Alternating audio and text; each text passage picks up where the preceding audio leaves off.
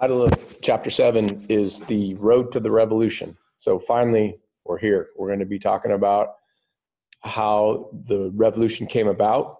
Um, before next chapter, we get into the battles that occurred. You know, the last last part of this chapter, we'll get into the beginning of the the first battle, but uh, we'll reserve that for the next chapter. But let's talk about the roots of the revolution. And I think the roots of the revolution, you have to go all the way back to 1607 the first voyage to Jamestown. That's when the roots of the revolution really started because those settlers who, got off to mine for gold in Jamestown were really rebelling against the mother country. They were they were leaving. Because think about it is that they weren't coming back.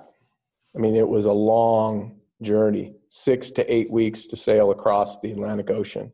The chances of them hopping on a boat and going back were slim. So you were basically dead to your family in England when you left. Um, the goodbye was pretty much forever. So yeah, it was a. Uh, it's not like today where you could go anywhere in the world and get back rather quickly because of airplanes, but obviously then it took a lot longer. So yeah, the roots of the revolution really began in 1607 when the first settlers stepped off that ship at Jamestown. And then they quickly realized that distance weakens authority. Right? The, the fact that the, the distance between Europe, England specifically, and America was 3,000 plus miles really made the authority of the mother country, England, uh, go way down. Obviously, they can't, they, with the lack of communication, um, to get a message across the ocean took months. And then you had to wait for the return, you know, uh, message back. So you're talking about long time, you know, three to four, sometimes five months to get an answer um, to, to your question that you might have. So it, distance really weakens authority, and great distance weakens authority greatly. Um, you know, the co- colonists really felt that like they were physically separate from Europe, and why wouldn't they? It's not like you could hop on the internet and figure out what's going on or or speak to people. You can. So you were when you left, you were pretty much leaving for good. Um, you could see the map here shows you the distance. Um, gives you an appreciation for how far it is between the mother country, England, over here, all the way across the Atlantic Ocean. Distance weakens authority. Now, here, here's a, a, concept that everyone must know and understand in this class, and that's mercantilism. Mercantilism is based on the belief that a country's economic wealth could be measured by the amount of gold or silver in its treasury basically what, what your wealth is as a country. How, how wealthy you are is based on how much gold you have. So, how do you get more gold? Well, you had to bring money in. And the way that you brought money in was to have factories and for you to export more than you import.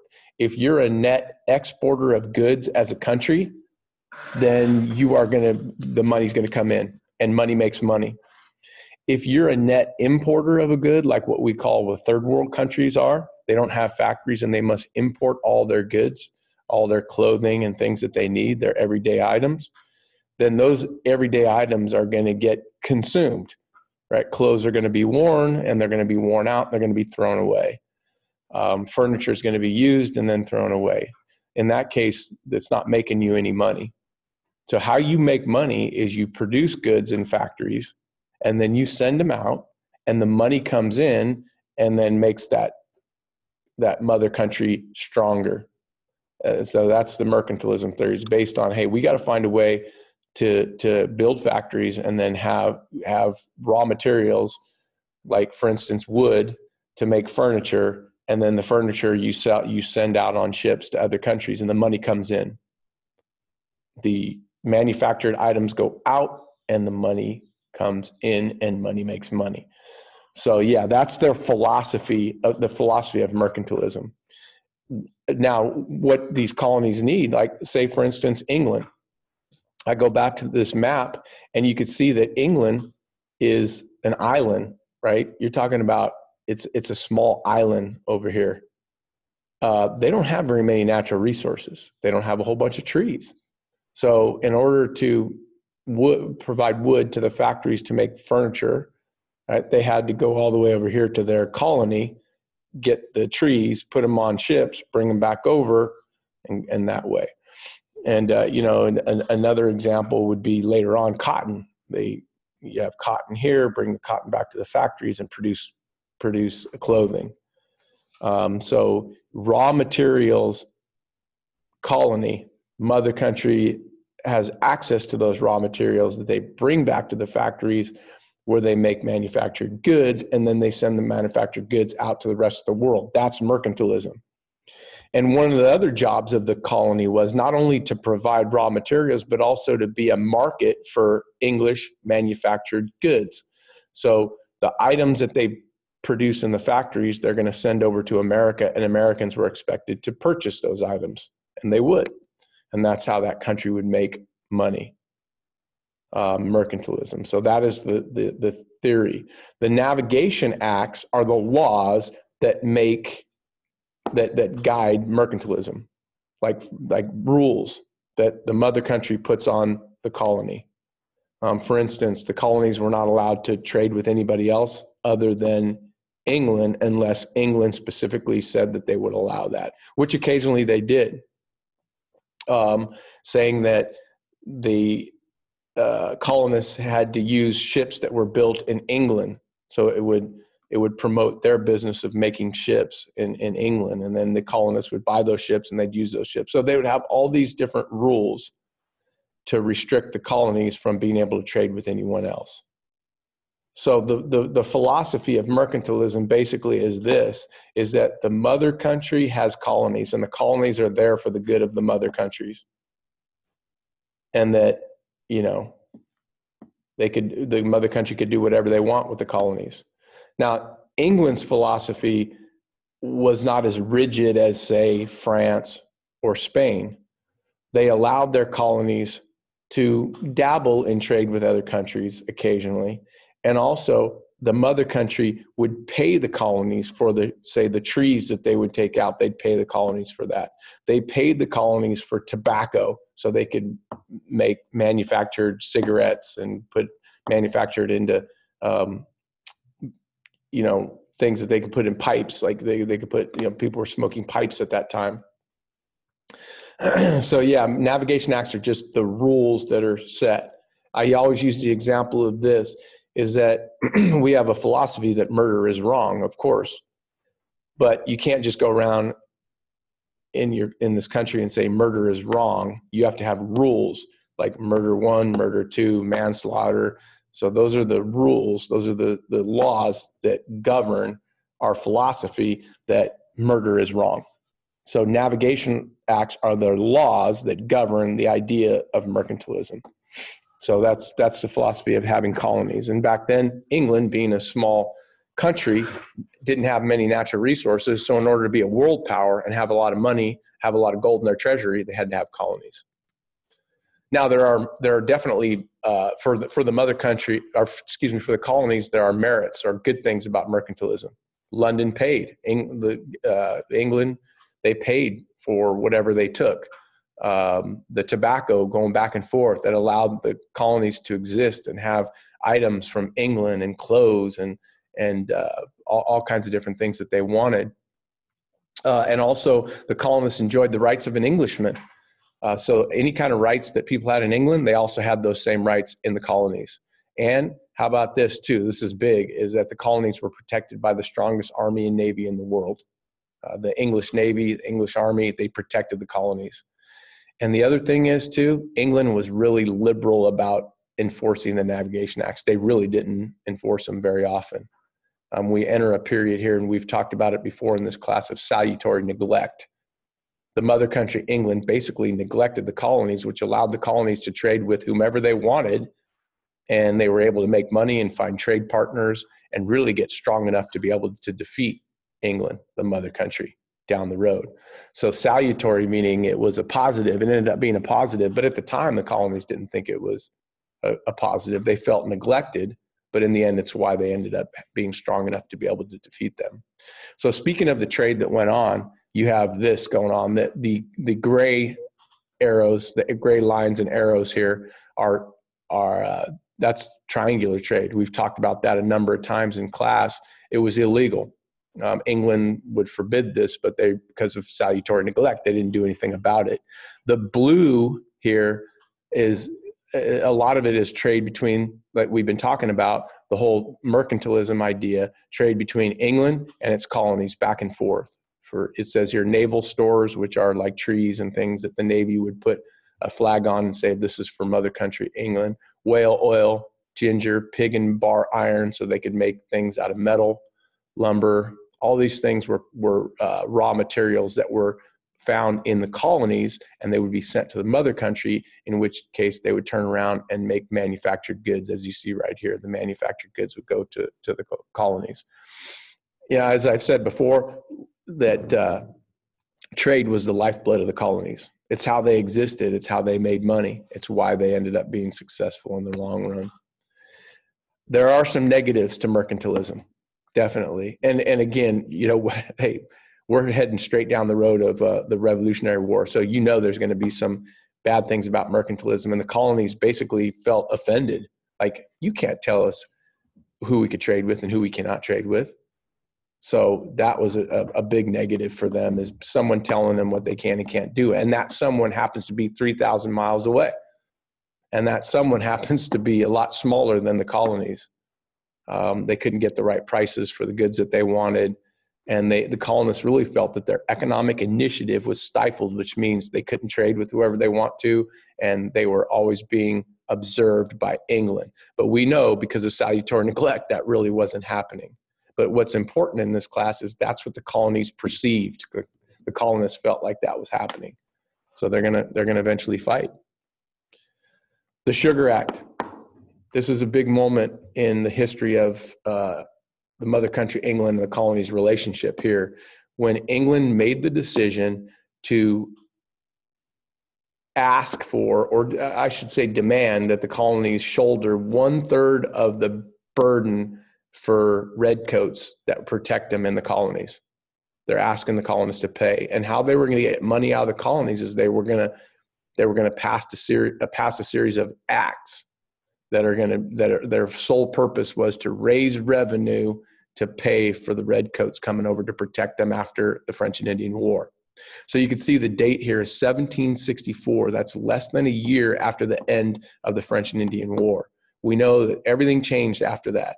The colony started to be able to feel like they could uh, compete with England, maybe even defeat them and England passed the Sugar Act, which was a, a very small tax on sugar, and it was meant to, you know, try to get some money out of them.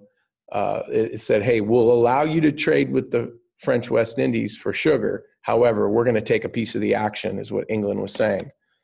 Um, and then again, that was a series of, of laws that were passed, as we're going to talk about, that asking the colonies to pay or shoulder one third of the debt another act, and maybe one of the biggest acts that helps bring on the Revolutionary War, was the Stamp Act. And uh, this act was passed by Mother Country England, again, to try to get money out of the colonies to pay for the redcoats. Um, so understand this that after the French and Indian War, England was broke. They didn't have any money. And that's why they're asking the colonists to shoulder one third of the cost for maintaining a garrison of 100,000 redcoats in America to protect the American colonists.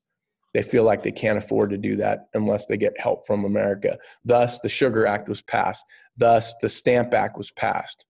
And the Stamp Act was, was a tax on all paper goods. So, whether it was a ream of paper, whether it was a deck of cards, whether it was a marriage license, um, anything like that, anything that was made of paper, which was a lot of things at that time, newspapers, um, pamphlets that had essays written on it that people like to read, there was that tax that was put on it. they would at, they would put a stamp on it, and I'm not talking about a stamp that you would put on an envelope like a, a, a sticky stamp or something. I'm talking about a, a stamp that they would. It, it was made out of. Um, it was made out of wax, and they would affix it to all the the the paper. Um, and then so like if you if you ever see like on a wine bottle, sometimes they have like a, a wax stamp on there. That's what it was like the stamp collectors would come from England and they'd go to all the merchants in the big cities like New York and Philadelphia and Boston, and they'd say, all merchants are required to purchase these stamps that you would have to put on all paper items. Um, so then the cost of the stamps would be put on the item. So it, it's just like a sales tax. We pay for an item at the store and then we pay a small sales tax that goes to the government. And that's what was happening here the merchants would then have to raise the price of the goods so it would fall the paying for it would fall on the on the colonists and they weren't happy with that and the biggest reason they weren't happy with that is because and benjamin franklin argued this to england is that it's an internal tax and not an external tax and what i mean by that it was a tax on goods that were produced in the colonies for example boston had a newspaper they produced it. The, the, the topics that were in this newspaper, uh, everything was written that was written was about what was happening in Boston. Well, England made them put a stamp on that, and then they got some of the, pr- price that people would pay for the newspaper. Part of that would go because of the stamp to England. And the colonists said, "You can't do that. How can you tax goods, uh, tax goods internally, things that we make here in the colonies?"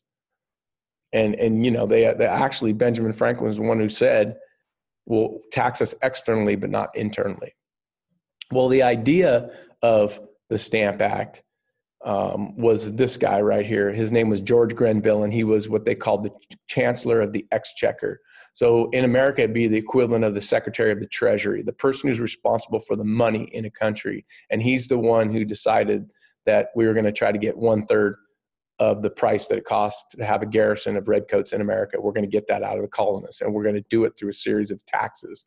And uh, he's here's some of his taxes: the Sugar Act in 1764.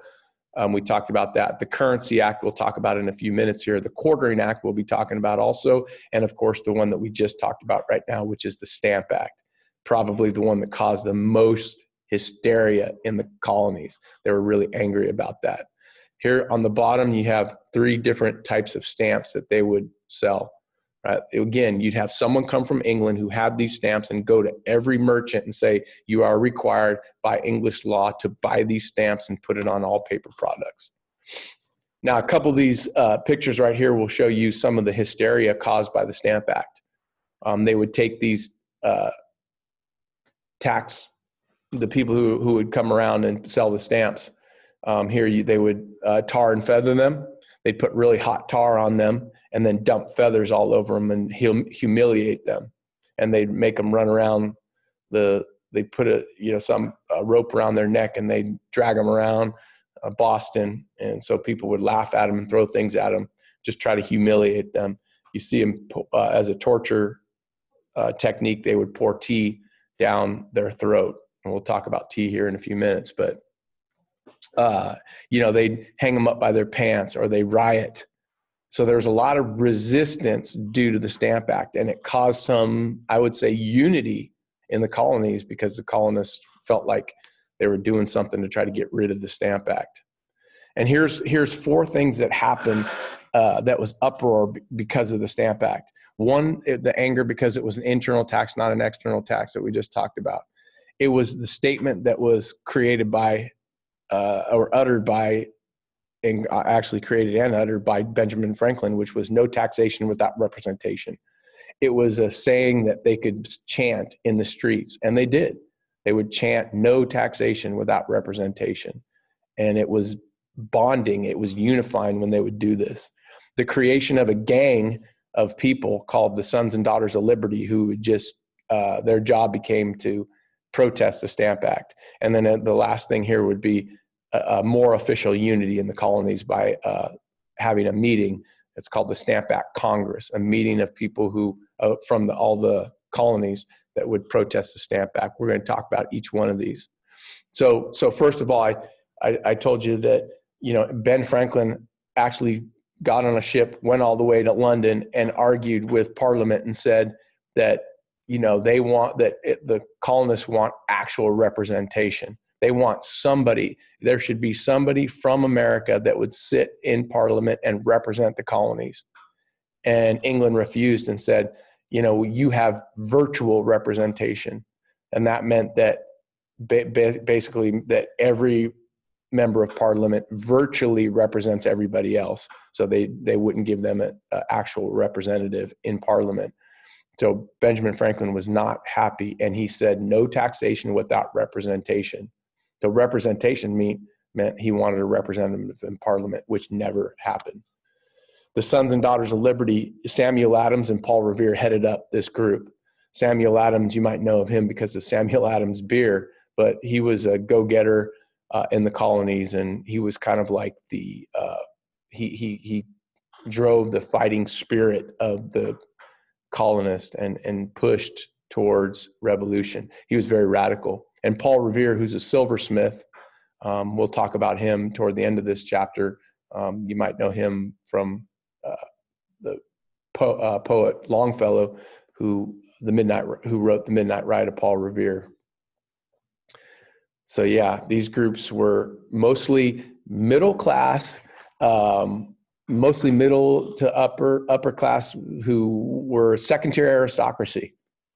Second tier aristocracy. So an interesting thing, you know, when in regard to the first tier versus second tier aristocracy, first tier aristocracy were mostly the plantation owners that were really close to England. They were loyalists. They were loyal to the English crown. Second tier aristocracy, not as rich, wanted to be first tier aristocracy. So, hey, you know, they stood to benefit tremendously from a victory over England because first aristocracy would be ousted from America because they were loyalists. So we'll talk about that more as we go. Mostly in class, I'll talk about that. And then the other thing that we discussed a few minutes ago here was a Stamp Act Congress. 27 delegates from nine different colonies attended a meeting in New York because they were angry about the Stamp Act. The Stamp Act was all throughout the colonies, and the colonists were not happy. And at this Stamp Act Congress, they did something that was really, really important. They organized boycotts. They decided we are going to boycott British goods. Any goods that were in stores, which or merchants were selling into these stores that were from England, which was almost everything, not everything, but almost everything, they said, we're not going to buy them anymore. And it was so successful. This is big now.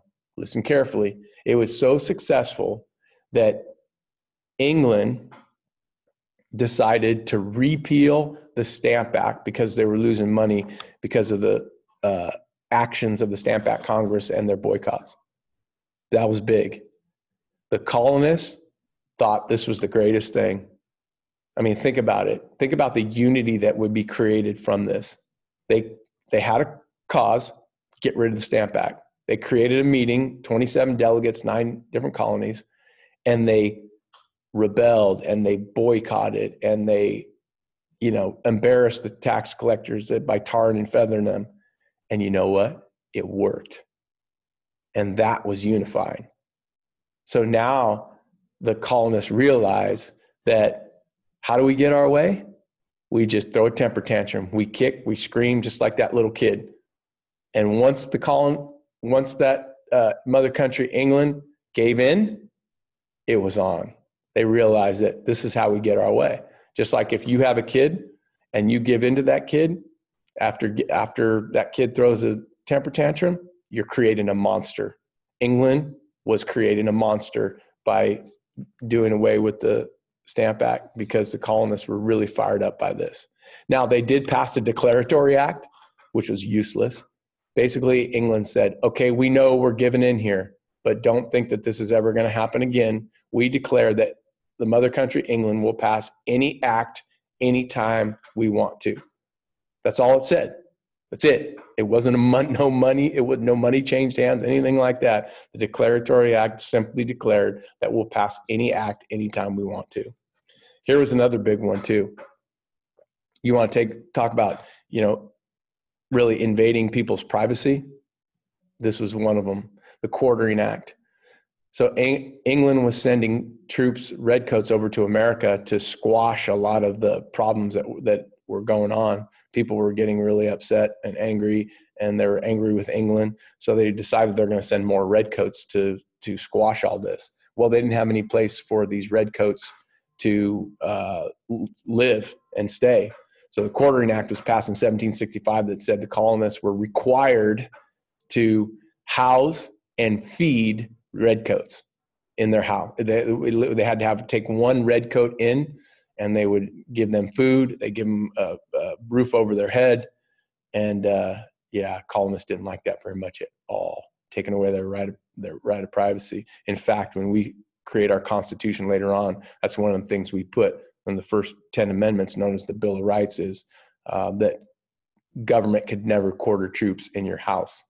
Well, New York refused to quarter troops, so Great Britain acted by taking away their uh, colonial assembly, their their right to be able to decide their own taxes and make their own laws and you take that away from these uh, colonies and they were not going to be happy so hope hopefully you're seeing that the build up to the revolutionary war. It's happening. The Townshend acts were passed by parliament and it, it it was basically okay we we did away with the stamp act because it was an internal tax. Well ben franklin said in parliament that it's okay to tax us externally. So here you go. Here's a tax on goods that you bring into the colonies. This is what Parliament is telling the colonists on glass, on lead, on tea, things that are imported into the colonies. There's a tax on that. But at this point, you could probably understand that the colonists are in no mood for any taxes at all, and after, especially after boycotting. So what are they going to do? They're going to boycott more, and they're going to try to get their way. Currency Act was, was an act that was passed in 1764 that demanded that all products from that would be bought from England had to be paid for in the British pound, the British uh, money. And really, the British pound was the only money in the colonies that w- was every colony accepted. It's like universally accepted in the colonies. Um, it was really confusing that Massachusetts had money and New York had money and Georgia had money, and you couldn't use Massachusetts money in New York or anywhere else, but you could use the pound, the British pound, anywhere. So when the colony said all, all money will be paid, excuse me, the mother country said all money will be paid in the British pound, that would drain money away from the um, colonies, and they didn't like that very much for obvious reasons. All right. Um, the first ever bloodshed. First ever bloodshed in the colonies regarding, you know, uh, the two countries, the mother country, England, and the colonists happened at the Boston Massacre. And this picture right here shows you uh, reconstruction of the where the Boston Massacre happened.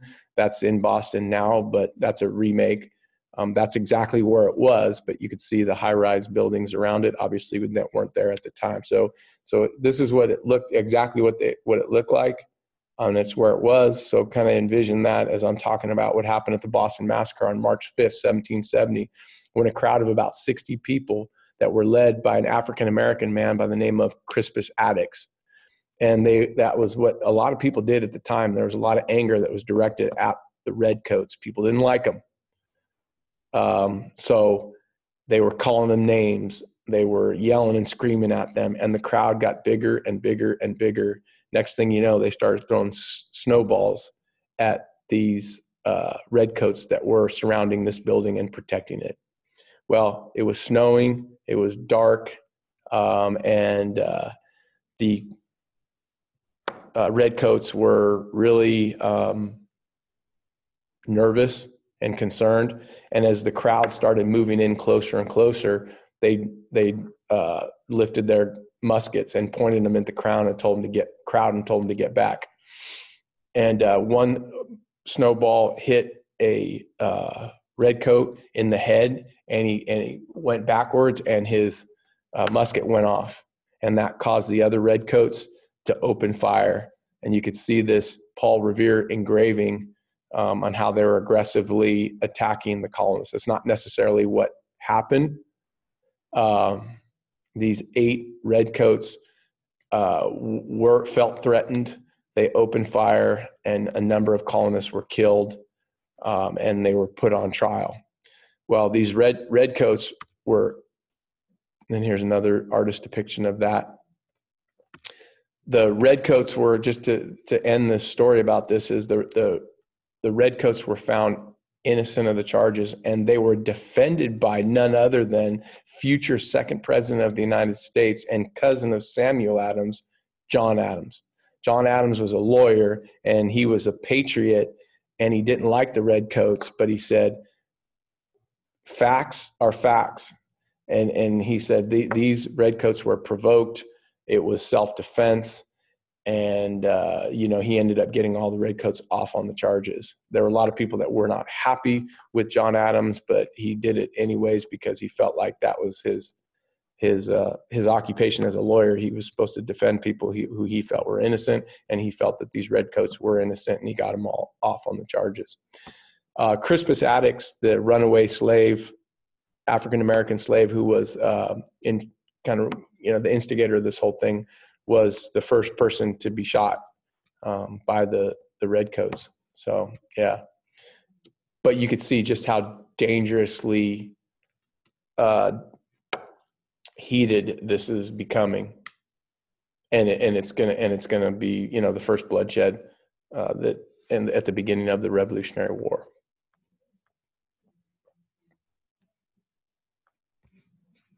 All right, I'm gonna pause it here.